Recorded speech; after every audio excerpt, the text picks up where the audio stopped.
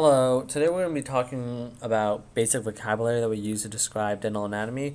That way next time when we talk about individual teeth, um, we know what words or terms to use to describe the teeth. And so today we're going to go over very quickly tooth numbering and surfaces. Then we're going to divide teeth into thirds and with those thirds we're going to be able to describe contact points, embrasures, and heights of contours. So I don't want to dwell on tooth numbering and surfaces too much because this was covered in oral physiology, but I'm just going to go over real quick um, as a quick recap. So permanent human dentition has 32 teeth. Um, you can have 16 in the maxilla and 16 in the mandible. And it's divided into four quadrants with eight teeth in each quadrant. And so what the universal numbering system is, you get each tooth gets one number. Um, you're going to start in the upper left. Right here is number one. It's going to go over to 16 and then number 17 for the lower left, over to the lower right, 32. And so for people who aren't used to the universal numbering system, I think the easiest way to remember it is to just first commit to memory um, the first and the last tooth in each quadrant.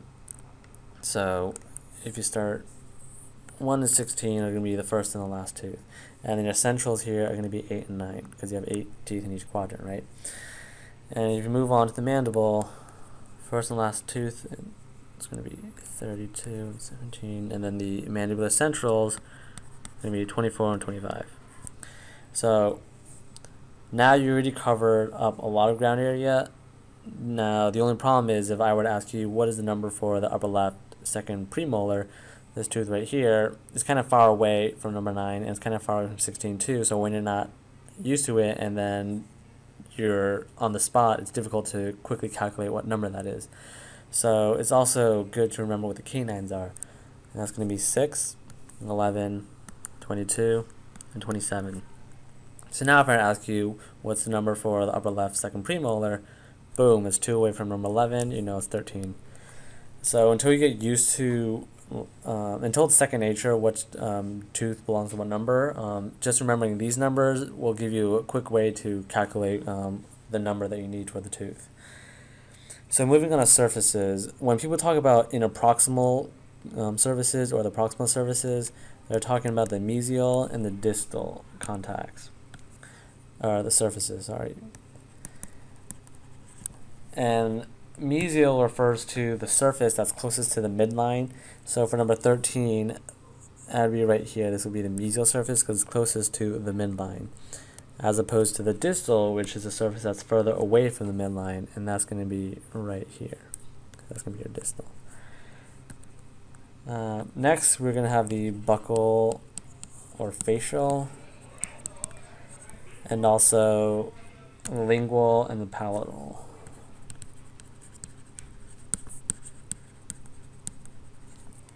So buccal refers to the buccinator, so it's a surface that's closest to the cheek and that refers to posterior teeth. So if I were talking about 15 right here, the buccal surface is going to be right here. And facial is the same thing except it's for anterior teeth. And then lingual and palatal, so lingual refers to the surface that's closest to the tongue. Um, so, and it's for mandibular teeth, whereas palatal is for the palate and it's going to be for maxillary teeth. But essentially the same thing or analogous to each other. And so for number 15, the palatal surface would be right here.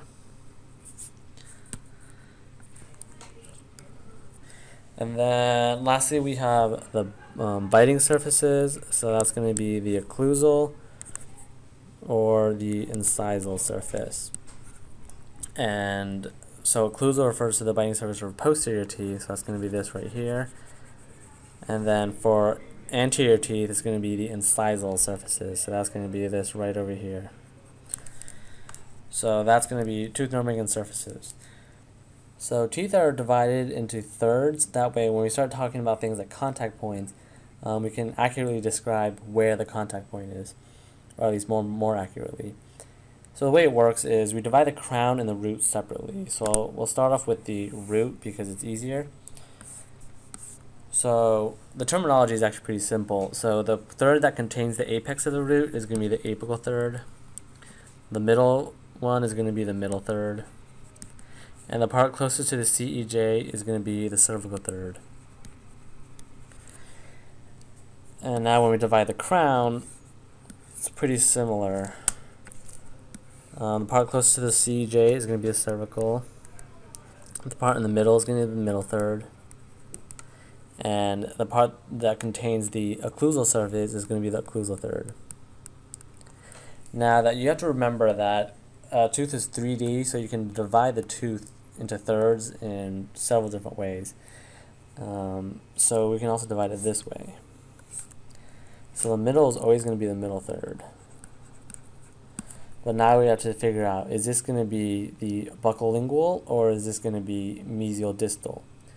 And I kind of gave it away because we're looking at buccally, so right here is the buccal surface. So that means this has to be either mesial or distal. I would highly recommend that you get a typodont now or a 3D model or image of a tooth that you can orient to exactly what we're looking at. But right now what we're looking at is the mandibular first molar. If you kind of just tore away the cheek, we'd be looking at the buccal surface right here. So on the other side is going to be the lingual surface. And so that means this side is going to be the distal and this is going to be the mesial. And the way the reason I know that this is distal is because the roots point usually for most teeth the roots point distally. Um, so that means this side is going to be the mesial. So now when we, if we rotate this 90 degrees, so now we're looking at the mesial view. Um, the root's not going to change, right? If we divide the root into thirds, there's still going to be the apical, there's still going to be the middle, and there's still going to be the cervical. Same thing, if you divide the crown this way, there's still going to be occlusal, there's still going to be middle, and still going to be cervical. Now the difference is, because we're looking at the mesial view, when we divide it this way, this is going to be middle, and now this is either going to be lingual, or it's going to be buccal. And this is going to be lingual, and this side is going to be the buccal. And the reason I know that is A, in terms of anatomy, the mandibular first molar has a larger lingual cusp. And B, I know that because if we're looking at this way and we turn it 90 degrees for the mesial, the buccal is going to go to your left side, right? So don't worry too much about where the, like whether it's going to lingual or buccal. What you should get out of it is the fact that you can divide the crown into thirds in three different ways. One that contains the occlusal cervical view, one that has the distal mesial, and one that has the buccolingual. Um, so we could do the same thing with anterior teeth. I'm just going to go through quickly. Um, not much changes. The apical is still going to be the, ap uh, the apex is still going to be apical. It's still going to be the middle third, and it's still going to be the cervical third because it's close to the CEJ. Now when we divide the this way, same thing. There's gonna, still going to be the cervical because it's close to the CEJ. There's still the middle because close to the it's in the middle. The only difference between this and a posterior teeth is now this contains the incisal surface. So this is going to be the incisal third. So again, other than the fact that you're switching incisal with um, occlusal, it's pretty much the same. Um, so that means you can divide it this way too. And the maxillary central is a lot easier to figure out which side is mesial, which side is lingual, versus which side is um, facial. Sorry, which side is mesial distal and which side is facial lingual. And it's pretty obvious that uh, we're looking at it head on in a facial lingual view. I mean, if we were to draw another tooth right here, right? That would be the other central. So right here is going to the maxillary right central, and we're looking at the facial view of it. So this surface right here is the facial surface. That means this side right here is going to be the mesial, and this is going to be the distal. Right, this is the midline, so this is the mesial, this is distal, and of course this is going to be the middle. Now, same thing, rotate this 90 degrees, now when we divide it this way, this is going to be your lingual, this is going to be the middle, and this is going to be your facial. Right, you just turn this 90 degrees.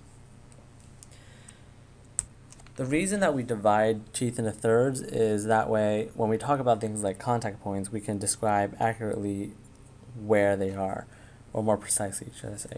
So, what a contact point is, is where the mesial surface of one tooth touches the distal surface of the adjacent tooth. Or in the case of central, it's going to be the mesial surface of one central touching the mesial surface of the other central. So, example right here, this is the distal surface of the maxillary central, right? And the contact point is where the distal surface is touching the mesial surface of a lateral. Or in the case of the centrals, you're going to have the mesial surface touching the mesial surface of the other.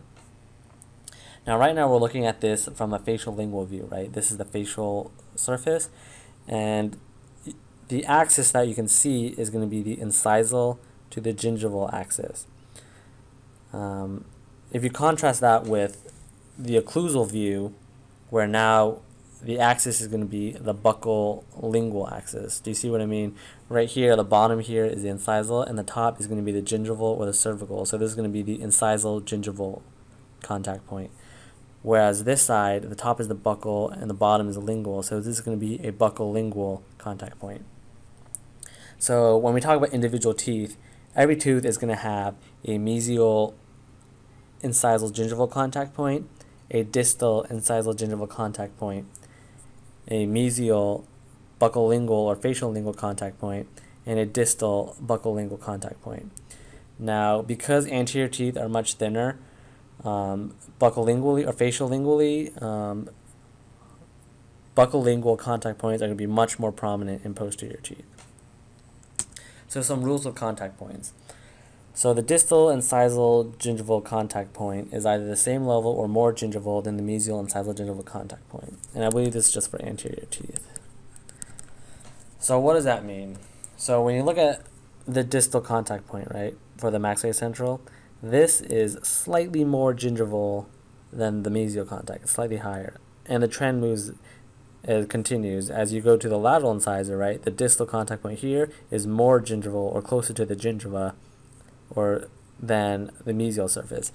And because of that, as you move distally, you're gonna the dag the line is diagonal, pointing and getting closer to the gingiva. The other way to put it is as you go mesially, it's going to be more incisal. So, right, so you start distal, and then as you move mesially, now you're getting closer to the incisal edge. Um, next rule, we'll, we'll skip this for now, but the next rule is going to be all teeth have a facial lingual or buccal lingual, if you're talking about posterior teeth, contact point in the middle third of the crown, but posterior teeth have contact point leaning toward the facial. So so this facial or buccal, same thing. Um, what that means is now when we look at this buccal lingually, right, the buccal lingual axis, if you divide the teeth into thirds here,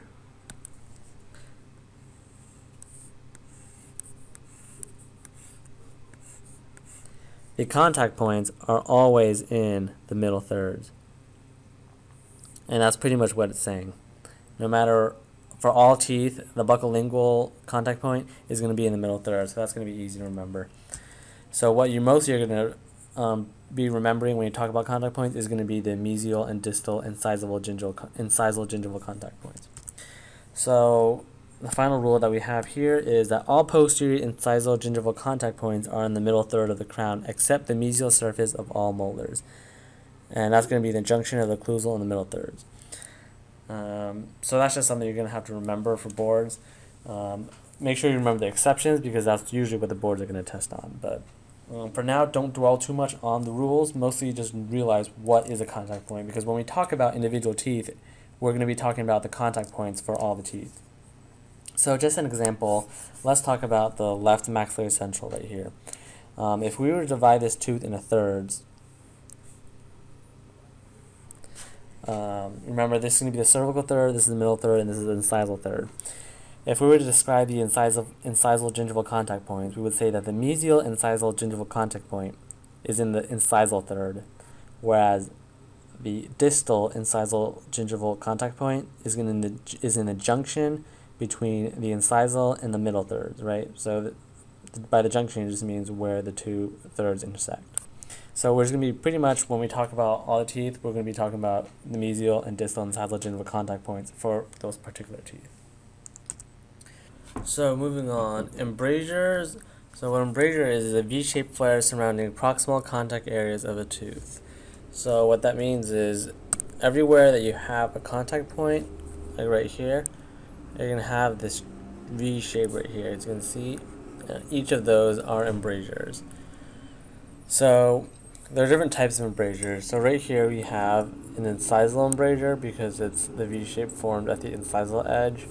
And here we have a cervical or gingival embrasure. Uh, but you don't typically talk about that one as much because if you remember, normally you have your interdental papilla right here. Uh, so unless you have like a lot of gum recession, you're not going to see your um, gingival or cervical embrasure as much. Um, and then remember the tooth is 3D, so we can look at it facial lingually. You can also look at it um, occlusally or incisally, right? So right here we're going to have a facial or lingual embrasure right here. And for posterior teeth, it's going to be the buccal embrasure and lingual embrasure here. So we have an incisal embrasure and a facial or buccal embrasure and then a lingual embrasure. And so what an embrasure is, is it's a spillway for food during mastication. So what happens when you chew is um, food can actually move through the embrasures and what that's going to do is it's going to reduce the pressure of mastication because now you have um, a place for food to escape and what it also does is it self cleanses the tooth because now when the food is moving through the embrasure, um, it's preventing the accumulation of plaque and stuff like that.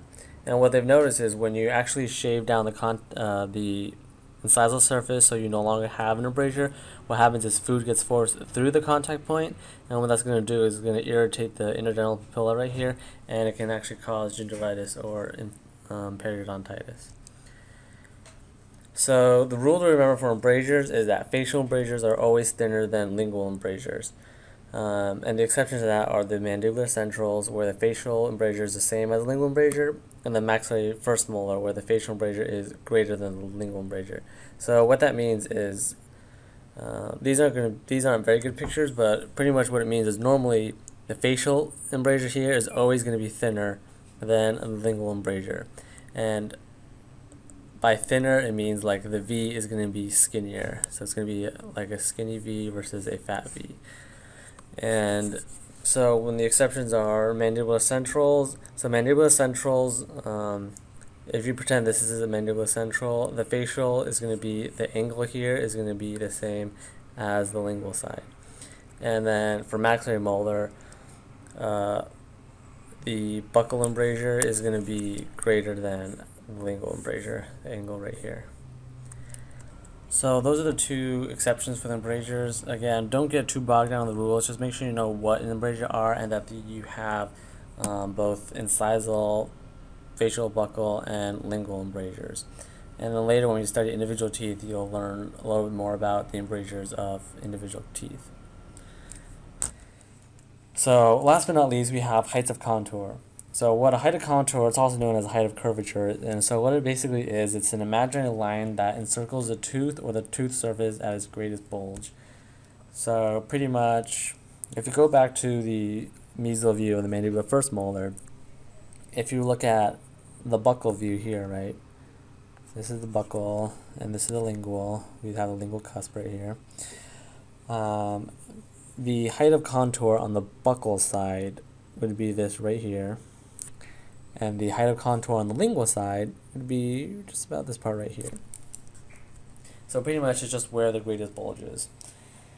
So facial or buccal height of contours, the rule is it's going to be in the cervical third for all teeth, except mandibular molars. And those are going to be in the junction of the cervical and middle third. And then for lingual heights of contour, anterior teeth is going to be in the cervical third.